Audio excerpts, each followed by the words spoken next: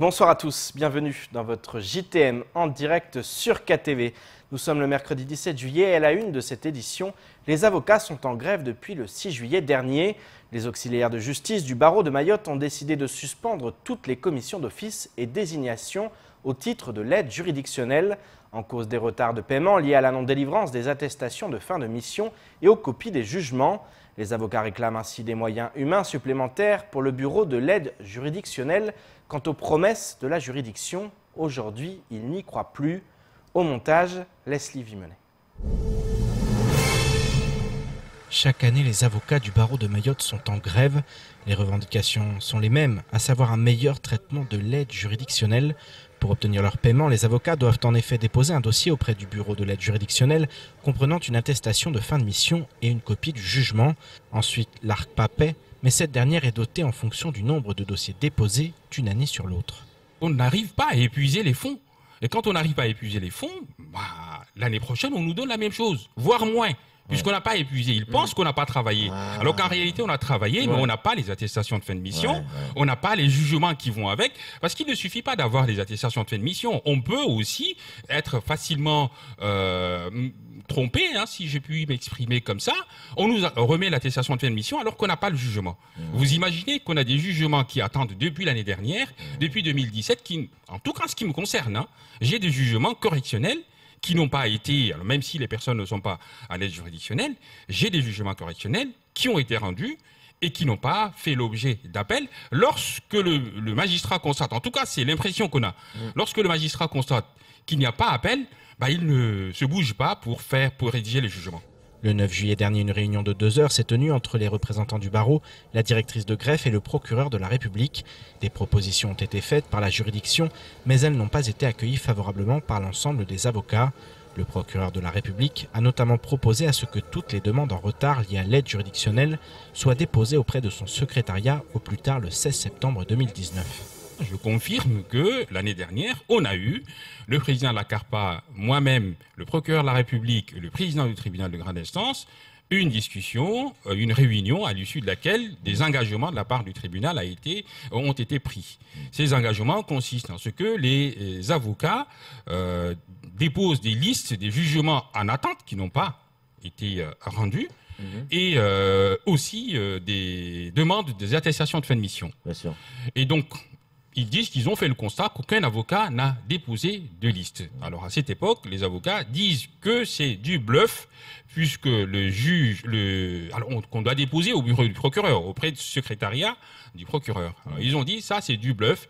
Le procureur de la République n'est pas habilité à rédiger de jugement, donc il ne peut pas mmh. les rendre. Mmh, mmh. Il nous va déposer des listes, il n'y aura rien. Donc ce qui fait que ça a démotivé tout le monde.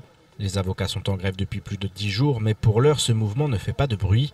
Un problème pour le porte-parole de la bâtonnière Fatima Ousseni. Cette grève n'affecte pas les, les, juridictions, en tout cas celle-là principalement parce que soit on n'a pas suffisamment euh, euh on l'a pas suffisamment médiatisé, bah soit parce que là on est en période de vacation, mmh. euh, soit aussi la raison qui a été avancée, c'est peut-être que le procureur et le et le préfet ont dit qu'il y avait une baisse de délinquance depuis la, le début de l'année et donc on ne nous sollicite pas beaucoup. Mmh. Apparemment ça ne les affecte pas. Mmh. Mais je pense aussi que c'est parce qu'on n'a pas fait d'action. Les avocats demandent des moyens supplémentaires et pérennes pour le bureau de l'aide juridictionnelle. A noter qu'une nouvelle assemblée générale réunissant l'ensemble des avocats devrait être convoquée dans les tout prochains jours afin de décider de la suite à donner à ce mouvement. Et comme évoqué hier, les pêcheurs du département sont en colère suite à l'arrêt de la distribution du mélange détaxé à la station de Passamenti. Ils demandent à Total de réparer la pompe, ce que l'entreprise refuse car en 2021, ce carburant sera interdit à la vente sur l'ensemble du territoire. Face à la situation, l'administrateur des affaires maritimes assure que les différentes parties vont se retrouver autour de la table pour trouver des solutions d'urgence. Écoutons Michel Goron lors de la matinale de Coésie il y, a, une difficulté qui est une difficulté réglementaire et une difficulté technique. C'est-à-dire qu'aujourd'hui, on ne peut plus euh, mettre en œuvre ces pompes qui couplaient l'huile et le carburant. Bon.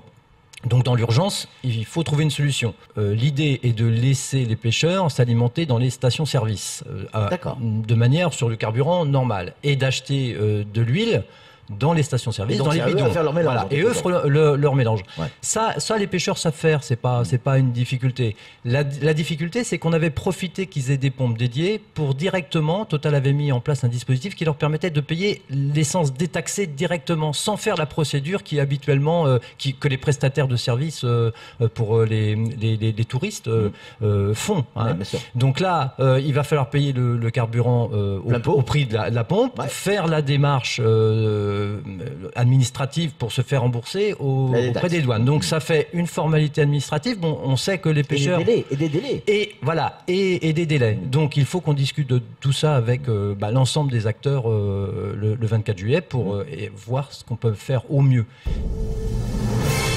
Autre colère, ce matin, une conférence de presse a été organisée par quatre employés de la SARL Ambulan- Ambulance Centrale. Objet un contentieux entre ces quatre ambulanciers et la nouvelle direction en place depuis début 2019. À l'origine de cette discorde, le projet de rachat de l'entreprise à la suite du décès de leur patron en 2017. Les employés, sous le coup d'un licenciement, soutiennent que la vente ne s'est pas faite dans les règles. Paul Arthur habite. Quatre employés des ambulances centrales ont organisé une conférence de presse ce matin. En cause, des problèmes avec leur nouvelle direction depuis la reprise de leur société. Selon eux, le nouveau propriétaire n'est pas légitime et souhaite licencier quatre employés qui souhaitaient reprendre l'entreprise à la suite du décès du patron en 2017. Ces agents-là se sont portés euh, volontaires pour euh, acheter euh, l'entreprise suite au décès de, leur patron.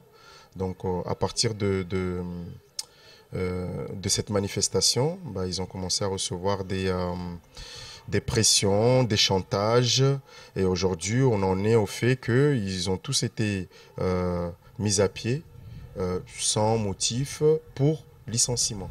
Ces employés auraient négocié avec les héritiers des ambulances centrales pour racheter les parts de l'entreprise. Selon leur dire, ces mêmes héritiers auraient revendu illégalement la boîte à un repreneur réunionnais, Bruno Fontaine. Ce dernier soutient pour sa part qu'il a acheté légalement la société. Il assure que ces quatre employés n'ont jamais vraiment négocié le rachat et qu'ils ont tenté de faire couler la SARL pour la racheter au prix le plus bas. Face à ce conflit et aux mises à pied qui en découlent, les employés dénoncent le recrutement de personnel vivant à la Réunion. Nous, on a constaté qu'on a, été- remplacé par des agents qui viennent de l'extérieur. Et euh, aujourd'hui, on n'a plus accès à notre, à notre travail. Là, tous les- nos véhicules a- a- actuellement euh, se promènent ou euh, sont stockés chez eux dans une cour privée où on n'a même pas le droit d'y aller. Donc, nous, on attend que la décision de la justice Bruno Fontaine a engagé des poursuites contre ses quatre employés. La justice les a condamnés à verser 3 000 euros d'intérêts pour poursuite abusive. Ceux-ci ont contesté cette sanction. La justice tranchera. La rencontre Macron-Azali, le contrat de convergence ou encore les Jeux des îles de l'océan Indien. Voilà ce qu'il faut retenir du reste de l'actualité locale. Place aux brèves de ce mercredi 17 juillet. Le président Emmanuel Macron doit se rendre à Mayotte durant la deuxième quinzaine du mois d'octobre 2019. Une visite très attendue, même si avant cela, ce lundi 22 juillet, le président français va rencontrer le président de l'Union des Comores, Azali Assoumani. Depuis des années, la France demande à son voisin de veiller à sécuriser ses frontières afin de lutter contre le départ de centaines de ses ressortissants. Mais jusqu'alors, lorsque la France parle de lutter contre l'immigration clandestine, les Comores entendent organiser la libre circulation des personnes entre Mayotte et les autres îles. Concilier les deux avis ne sera pas simple. La rencontre a néanmoins été longuement préparée. Le Quai d'Orsay, le ministère des Outre-mer et les élus mahorais se sont rencontrés à plusieurs reprises pour concevoir un accord cadre qui pourrait être signé lundi par les deux présidents de la République. Selon des sources proches du dossier, la rencontre pourrait marquer un tournant historique dans les relations entre les deux pays. Après la signature le 8 juillet dernier au ministère des Outre-mer du contrat de convergence et de transformation entre l'État, le Conseil départemental et les intercommunalités, la section locale de la République en marche a décidé de s'exprimer par voie de communiqué. Le groupe politique se réjouit tout particulièrement de cette signature, d'abord parce qu'avec plus d'un milliard 600 millions d'euros, ce CCT est un effort sans précédent à l'échelle d'un quinquennat, comme le reconnaissait lundi le président du département Sobadine Ibrahim Ramadani. La REM explique également que cette signature est la traduction de l'engagement plein et entier de l'État en faveur du développement de Mayotte. Le groupe politique souhaite ainsi que ce contrat trouve écho en chaque Mahorais en marquant une réelle amélioration de la vie quotidienne sur notre territoire. La République en marche dit également disponible pour, je cite, contribuer ensemble à œuvrer en faveur du développement de notre département, le 101e département français. Les 116 athlètes maorais qui participeront aux Jeux des îles à Maurice du 19 au 28 juillet sont partis tout à l'heure. Au menu 15 disciplines, dont 8 où participent nos athlètes basketball, football, volley, rugby à 7, judo, tennis de table, cyclisme et athlétisme. Une partie de la délégation est déjà sur place depuis le début de la semaine afin de préparer l'arrivée des sportifs. Deux médecins, un préparateur physique, trois kinésithérapeutes ainsi que deux ostéopathes s'occuperont de la santé et de la forme des athlètes sous la responsabilité du docteur Ludovic Isch. Les Jeux commencent dès demain après-midi avec le football et le premier match de poule contre les Comores. A noter que nous vous ferons vivre les jeux tous les jours et ce dès demain en direct depuis Maurice sur notre page Facebook ainsi que sur le site l'infoquasi.fr. Des étudiants en école de vétérinaire sont en ce moment en renfort à Mayotte pour une mission de grande envergure, la stérilisation et l'identification des chats errants sur l'ensemble de l'île. Ils sont quatre à s'être engagés sur le territoire mahorais dans le but de réguler la population grandissante de chats errants en partenariat avec le cabinet de vétérinaire de Combani et l'association Gueule d'Amour. Un grand projet qui voit le jour après de longues années d'efforts et qui devrait désormais être organisé annuellement. Alors sur combien de temps et comment cette large campagne s'organise-t-elle? Un reportage signé Marion Telly.